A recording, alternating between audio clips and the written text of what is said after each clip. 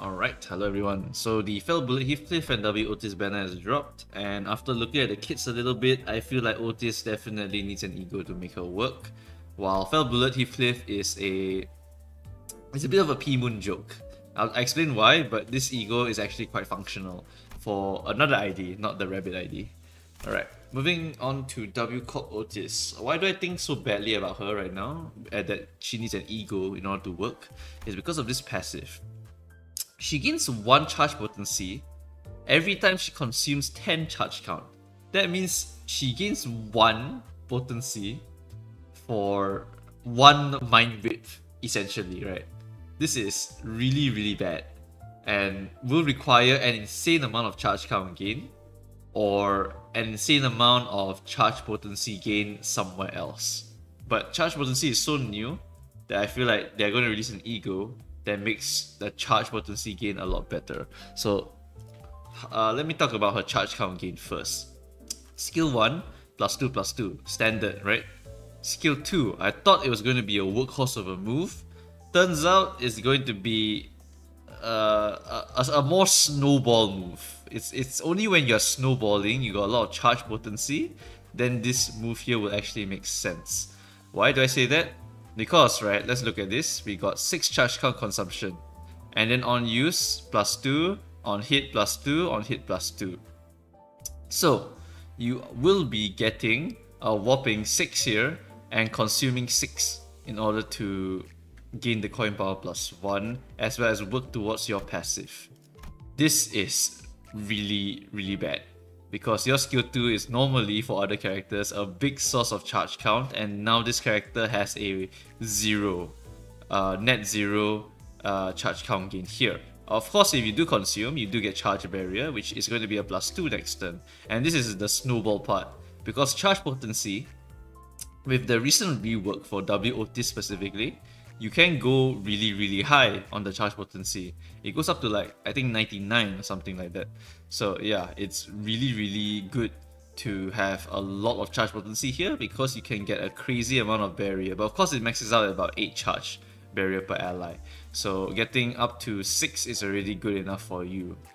But to get there as you can see from the passive it's really really far. It is 60 charge count consumption think about that for a second. That is an insane amount. That is basically 15, right? So 15, 30, 45, 60.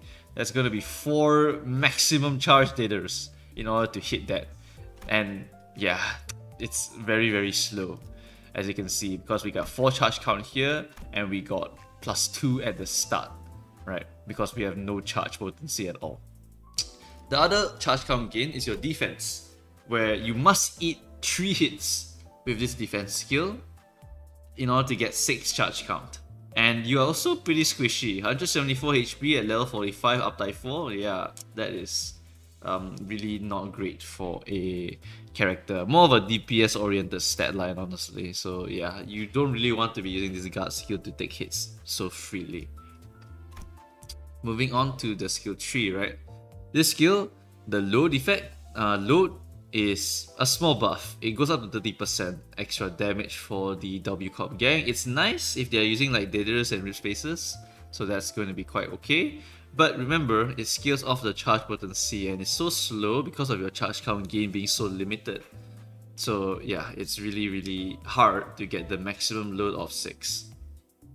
The other cool thing about charge potency is that it lets you skip the consume 15 charge count requirement. You can go to 7 to 14 charge count to get the coin power plus 2. But remember what I said about the charge gain? It's also very slow. You need 20 consumption in order to get 2 charge potency.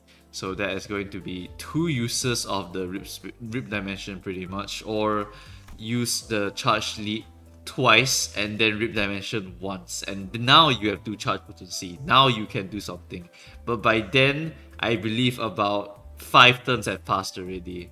So if you compare the speed of getting here to other W Corp IDs, this is just not it. It's really, really not it. A nice bonus that this skill tree has is that it does give you charge count back after you hit with the fourth coin based on the charge potency. So if you're snowballing with the charge potency, you won't get anything back. But if you are at the start, it will give you something back to help you to kind of speed up the consumption along.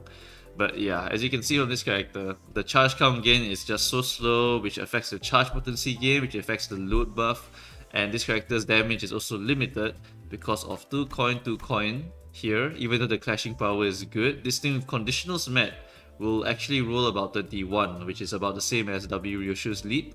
And then the skill 3 will roll a 24 with conditional smack, which is a mind whip. So in terms of damage output, in terms of charge count gain, in terms of charge and buffing potential, like this character is currently not it. Like it takes too much effort to get to the level that you want. And this character needs an ego or a numbers adjustment to make her work. This is a very easy skip character in my opinion. The support passive is probably the most interesting thing about her, but it's also really hard. Because you need 4 Envy Resonance to get, and it only works when a charge count character consumes at least 7 plus charge count. So really only works on a few characters in this game, and it's notably the like W Ryoshu, W Dawn off the top of my head. So yeah, this ID needs an ego or needs heavy heavy support in order to make work. So that is pretty much my summary of this character. Not a high not a high priority pool character for sure. Uh, maybe the the next uh, warp uh, event, the upcoming warp event, will introduce something to make this make more sense and stuff. Yeah, maybe like a dimension shredder Outis that gives you a bunch of charge count or gives you a bunch of charge potency. Like that shit will definitely help with this character.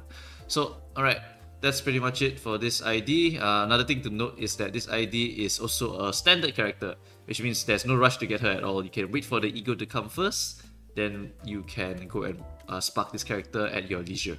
Or you can even get spooked by her, she's a standard character, she can always be pulled. Right. Moving on to Fell Bullet Heathcliff. Uh, for this one, I need to explain why I think this is a meme by Project Moon. It's because 7, 7, 7, jackpot, right? Then we also have 7, and then 7 poise. And then what's the jackpot? Critical kill. Ammo effect, gain 1 ammo 3 times per encounter. Alright, so this is the hilarious ego because in the P-Moon lore, uh, in Library of Ruina, we were told that bullets are very controlled because guns and bullets make killing too easy, and they do not want to make killing too easy. They want you to beat people up with your fists, your swords, your your axes, your maces, and stuff. So yeah, that's why most of our characters here don't really use guns. Uh, ammo is a very very limited resource, and so they made it a jackpot thing in order to get a bullet back. 777 um, and then 7 here and you need to critical on the second coin and you need to kill on the second coin in order to get the ammo effect here. And this is a single target attack. So you only get one shot to hit this. If you hit it congratulations you get one ammo back. A whopping one ammo back alright?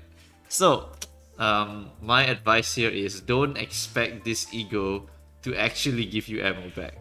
The odds are you're not gonna get it. You need to jump through so many hoops to get it. You need to jump through a 6 resonance plus 1 hoop here. You need to, or, or a 5 uh, absolute resonance plus 2 hoop here. And then you need to gain your 7 poise. You have 1 poise count, so for Rabbit with no poise count gain, you will only have 1 critical chance. And then after that, you need to hit on the second coin here and kill him with this and you also need to crit on that second coin in order to get this. Yeah, it's just really, really, really low chance. I believe it's about 35% chance, right, to get a crit with 7 poise. And you need to specifically kill here and blah, blah, blah, blah. It's just really, really bad. Okay, but this ego is very good for Quick. It's extremely good for Quack. The reason being is that Quick Quack has a lot of poise count gain, but not a lot of poise potency gain. And this ego, guess what? It gives you a 7 poise potency on use. And you also have 5 bleed potency and additional critical hit. And because Queequeg is a poise character, um, she also benefits from getting all this stuff here. So that's very very good for her. The Corona effect, you probably won't be using it either, but it does give you the poise as well, but it also consumes your poise on self, so it's not particularly useful, and it's only 2 AoE, so not that useful. The passive is also very useful for Queequeg. The Crush Pendant passive, combat start at 3 plus highest resonance, you gain 3 poise potency. So another very very good poise gain option here.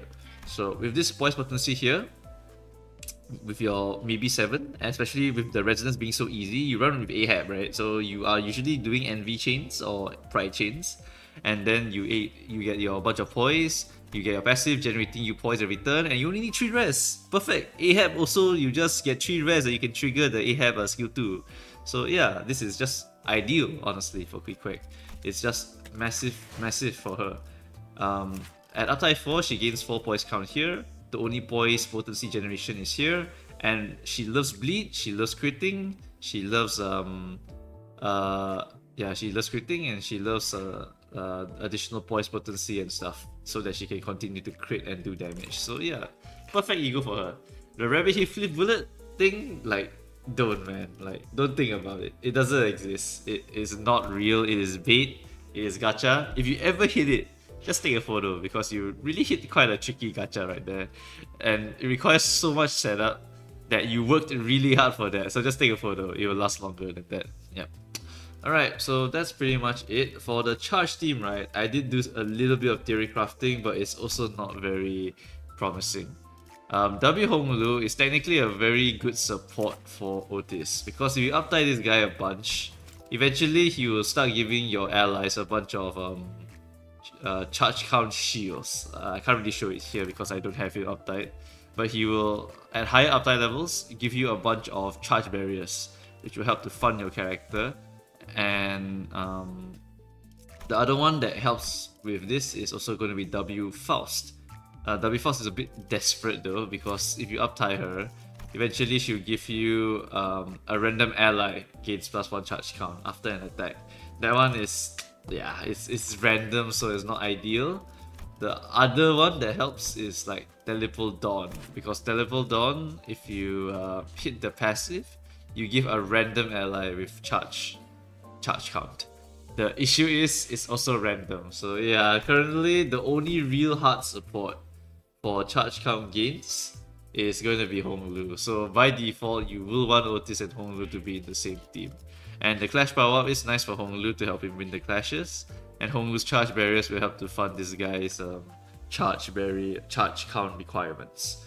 But yeah, until I see an ego for Outis, this idea is just complete dog water. So hopefully in the next um, uh, W Corp event, we will see a ego to fully support this character or other W Corp cleanup IDs to support this character. So yeah, tentatively, this Outis is just going to be sitting in the corner uh, in my dispensary, just waiting for some cook to happen, and then I will go and spark her and then run her with her W team.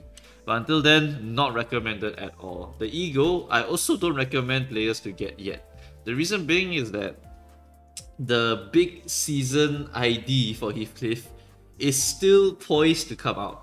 It's just near the end of the season that ID will come out, and then you'll be able to uh, go and spark that character first, because that character is not Walpurgis. Walpurgis is the only one that you need to pull on.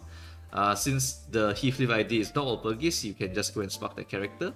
You should honestly just skip this Fell Bullet for now. Go and get that Heathcliff big ID, and then if you have spares, come and get Fell Bullet. Because Fell Bullet is once again also a standard ego, so there's no rush for this Fell Bullet. Alright. So that is my initial analysis of these egos and characters. Needs a lot of um, support for Outis, and I expect the upcoming event to provide even more of that. And I think the Fell Bullet is a very good ego for Quack Heathcliff specifically, and a funny ego for Rabbit Heathcliff, where if you hit, awesome. If you don't hit, well, that sucks. A bit like Wingbeat, honestly, without any support. Alright, so that's gonna be it. If you have any of your own opinions, feel free to just comment them down below. And yeah, that's going to be it for this video guys. Thanks for watching and I shall see you guys in the next video. Bye bye.